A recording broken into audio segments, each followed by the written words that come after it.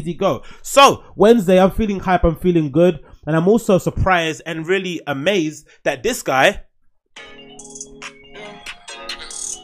And if you're not familiar who that is, that's Trippie Redd's album. I'm not going to play the whole thing. I'm probably going to get content ID'd. But Trippie Redd has sold over 100,000 um, units of his um, recent album that just came out, which is called, for the love of it, um, A Love Letter to You, Volume 4, or Number 4 bloody hell, man, amazing. And I'm happy for the kid because I think that exclamation mark album that came out earlier this year that Playboi Carti ended up having a track on and took it off again. I don't know what happened there. They probably has some dispute, but it didn't really um, get the reception it deserved. And I've long argued, even though he's a very, he's a proper terrible performer. If you watch these videos on on um, Rolling Loud and stuff, for the amount of talent that Trippie Redd has, he needs to invest a lot more time and a lot more money and effort into his live shows because I think if you put that effort into his live shows, same as say about Playboi Carti, I think, in my opinion, again, argue as much as you want, but in my humble opinion, Trippie Redd, Playboi Carti, Lil Uzi Vert are really on another level in concern of all those other kids and that kind of SoundCloud kind of aesthetic of rapping, right? Whatever you may call it, whatever that theme is,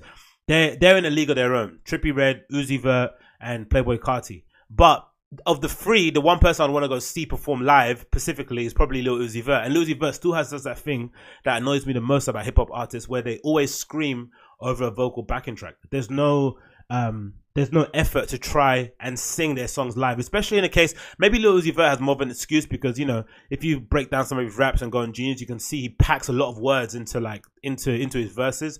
So maybe he might run out of breath, and you know it's hard to kind of do the whole breath control when you're on stage, running around, jumping around, jumping off the um, the um, the scaffolding of a stage and stuff.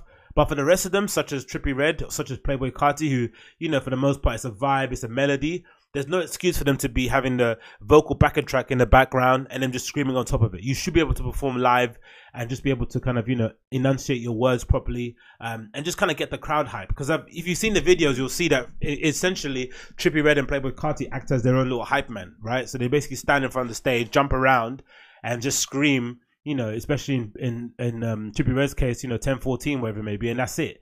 But I, honestly, after listening to this album, if he invested a little bit of time, especially some of the acoustic, um, acoustic sounding tracks in the first half of this album, that's nothing to specify too. You know how hard this album is because there's 21 tracks, and I wouldn't take any track away. They're all fucking bangers. And the thing that's amazing about this album, um, A Love Letter for You, which is on here on the screen, I recommend you go check it out. It's available now on iTunes and all your streaming platforms.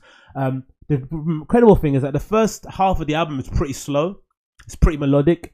Um, it's pretty somber, a lot of heartbreak and turmoil in there, and then it just flips the script. The second half of the album just starts punching you in the face again and again and again. That track that I played recently now with um, this production of this track, this Little Yachty and Pierre Pierre Bourne, like this is prime uh, uh, Pierre Bourne, prime prime um, era Pierre Bourne. So definitely check it out. Um, one of my favorite albums that's come out over the last few weeks. I've been playing it again and again since I've been going gym. This alongside the game album is just, you know, my hands down, easily some of the best albums I've dropped in the last few months.